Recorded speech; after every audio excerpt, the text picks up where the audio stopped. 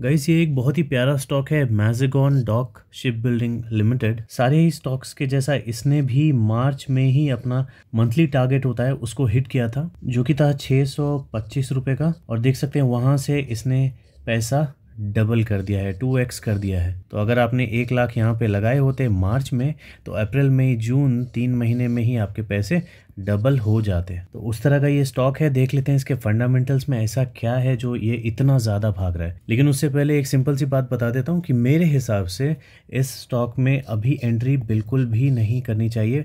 मैं इसमें एंट्री नहीं करूँगा क्योंकि मुझे ऐसा लगता है कि चौदह सौ, पंद्रह सौ के आसपास में इसमें बहुत प्रेशर देखने को मिल सकता है। ठीक है? तो आप इसे क्या कर सकते हो? अपने ट्रैकर में ऐड कर सकते हो।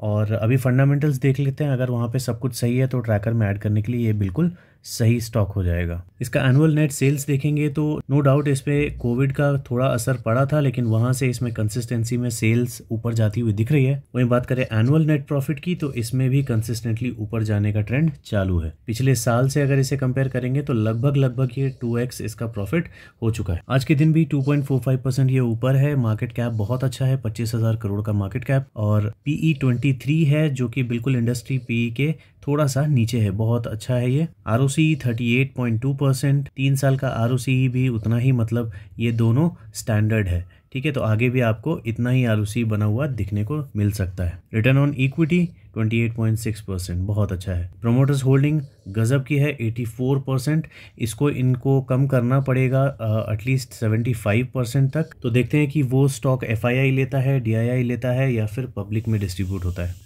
डिविडेंड भी ये कंपनी दे रही है पॉइंट सेवन फोर परसेंट की, जो कि बहुत अच्छी बात है, और डेट इस कंपनी के ऊपर ना के बराबर। जैसा कि मैंने कैंडल वाले चार्ट में बोला था पी रेशियो अगर आप देखेंगे तो यहाँ पे इसका पीई है, यहाँ पे इसका मीडियन है तो बहुत ज़्यादा ये ओवर प्राइज्ड है। अभी एंट्री के लिए बिल्कुल ही गलत टाइम प्रॉफिट ग्रोथ देख सकते हैं डबल डिजिट में है सीएजीआर का डेटा आया नहीं है सेल्स ग्रोथ भी डबल डिजिट में है। रिजर्व्स बढ़ते हुए हैं डेट कम होता हुआ है फिक्स्ड एसेट बढ़ते हुए हैं तो थ्री आउट ऑफ़ थ्री से मिल जाएगा। कैश फ्लो में भी इंक्रीज है। एफआईआई और डी की होल्डिंग पब्लिक से अभी कम है। तो यहाँ से जब ये स्टेक कम करेंगे तो आई होप कि ये स्टेक एफआईआई या फिर डी के पास आए ताकि पब्लिक से ज़्यादा होल्डिंग इन दोनों के टोटल का हो। तब ये बिगिनर्स के लिए भी एक सेफ़ स्टॉक हो जाएगा। जिन लोगों को नहीं पता, मैंने बताया था कि एफ़ और डी का जो टोटल होता है स्टेक वो पब्लिक के स्टेक से जब ज़्यादा हो तो वो स्टॉक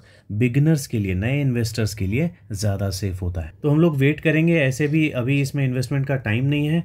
और बहुत ज़्यादा ओवर प्राइस ये चल रहा है। तो फंडामेंटल इसके देखने में बहुत बहुत ही ज़्यादा अच्छे हैं और टेक्निकली तो देखने में ये बहुत ज़बरदस्त दिख ही रहा है। तो इसे आराम से हम लोग अपने ट्रैकर में ऐड कर सकते हैं और फ्यूचर में कभी भी जब हमें इसमें इन्वेस्टमेंट का चांस मिले तो इसमें इन्वेस्टमेंट करना बनता है। इस वीडियो में इतना ही। मिलते हैं अगली वीडियो में।